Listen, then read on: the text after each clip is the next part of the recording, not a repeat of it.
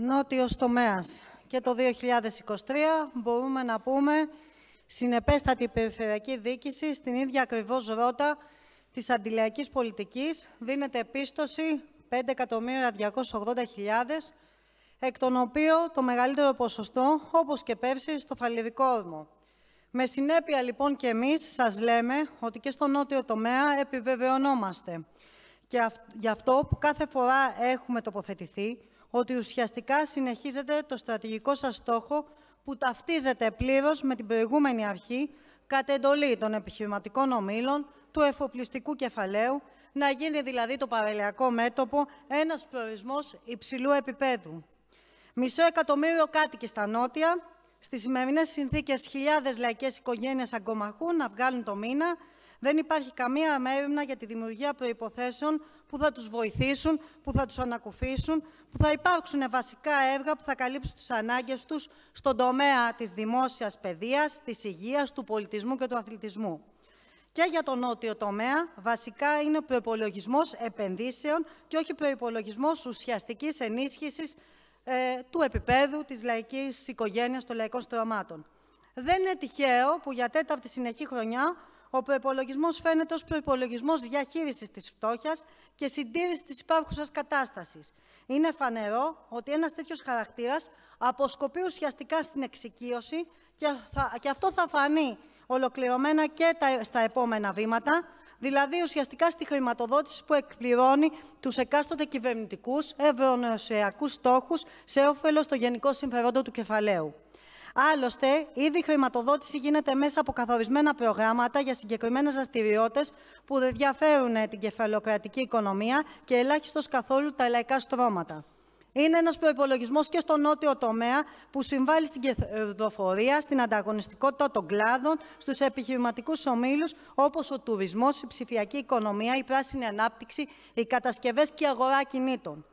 Εξακολουθείτε να μην διεκδικείτε κονδύλια από τον κρατικό προπολογισμό και αυτό φαίνεται στο νότιο τομέα, αφού οι ανάγκες στους οκτώ Δήμους της περιοχής χτυπούν κόκκινο, με τα κοντέινερ κουτιά της προσχολικής αγωγής, με το μεγάλο θέμα που έχουμε και στα νότια της σχολικής στέγης, σχολεία που έχουν φτιαγμένα από το 1960 και ουσιαστικά δεν έχει γίνει καμιά συντήρηση, κανένας έλεγχος με, με μια αίθουσα ουσιαστικά που προϋπολογίζεται πολλαπλών χρήσεων στο ελληνικό, εδώ και δύο χρόνια αυτή την αίθουσα κουβεντιάζουμε και συζητάμε, όταν δίπλα μας θα ξεφυτρώσουν μολ και ετοιμάζονται και ουρανοξύστες. Και για να δούμε στους οκτώ Δήμους πουθενά δεν υπάρχει μέρημνα για να ενισχυθεί η πρωτοβάθμια ε, φροντίδα υγείας σε κάθε Δήμο του Νοτιού τομέα έχουμε ανάγκη για αυτά τα ζητήματα της υγείας, αφού υπάρχει ένα νοσοκομείο της Βούλας για να καλύψει τις ανάγκες του λαού. Στον τομέα του αθλητισμού, που όλα τα υποτάσσεται στο φαλυρικό όρμο, το κολυμβητήριο της Νέας Μήμνης είναι το μοναδικό έργο και, εδώ, και δύο χρόνια το προϋπολογίζεται, λες και οι υπόλοιποι δήμοι δεν έχουν ανάγκη για χώρους άθλησης και υποδομές.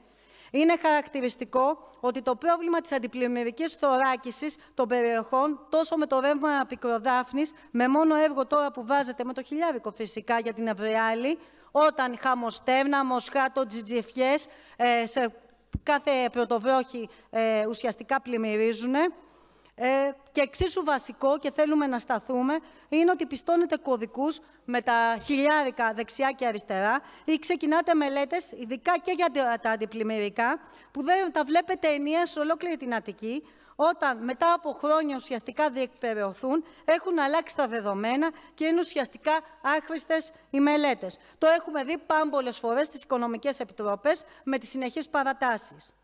Εμείς θα σας το ξαναπούμε, το παραλιακό μέτωπο που θα είναι μια ανάσα συνολικά για τους κατοίκους της Αττικής. Έχουμε ξανατοποθετηθεί. Το θέλουμε με άλλη αξία χρήσης γης. Το θέλουμε με ελεύθερους χώρους για αναψυχή, δωρεάν ανοιχτές παραλίες και δυνατότητα αθλητικών πολιτιστικών δραστηριοτήτων. Ποιοτική λαϊκή κατοικία που έχει ανάγκη συνολικά η Αττική αλλά και ο νότιος τομέας, δομές εκπαίδευσης και υγείας.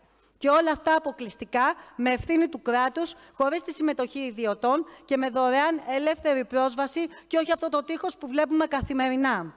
Θέλουμε λοιπόν προπολογισμό που θα διεκδικεί μαζί με τους Δήμους την κάλυψη των αναγκών της νεολαίας και των κατοίκων της περιοχής σε ψυχαγωγία, αθλητισμό, πολιτισμό. Και ξέρουμε τι θα μας πείτε, ότι δεν είναι ευθύνη σας αυτά τα έργα. Εμείς θα σα πούμε ότι μαζί με τους ΚΑΠ σας αναλογεί μερίδιο ευθύνης για τους προπολογισμού τους Δήμου, του Δήμου της Αττικής και του Νότιας Περιφέρειας για την υλοποίηση μεγάλων έργων των Δήμων που μπορούν να γίνουν και έχουν ανάγκες στα λαϊκά στρώματα. Αν θέλετε λοιπόν να καλύψετε τις ανάγκες των λαϊκών στρωμάτων ουσιαστικά του λεκανοπεδίου και της περιφέρειας, διεκδικήστε από τον κρατικό προπολογισμό. Κλείνοντας λοιπόν, τοποθετήθηκε και ο σύντροφος Γιάννης Πρωτούλης, ουσιαστικά και για την νότια περιφέρεια, τα 5.280.000 που πιστώνεται για το 2023 είναι το 2,35%. Ουσιαστικά δηλαδή σε 42 χρόνια θα έχετε υλοποιήσει το σύνολο των έργων. Γι' αυτό θα το καταψηφίσουμε.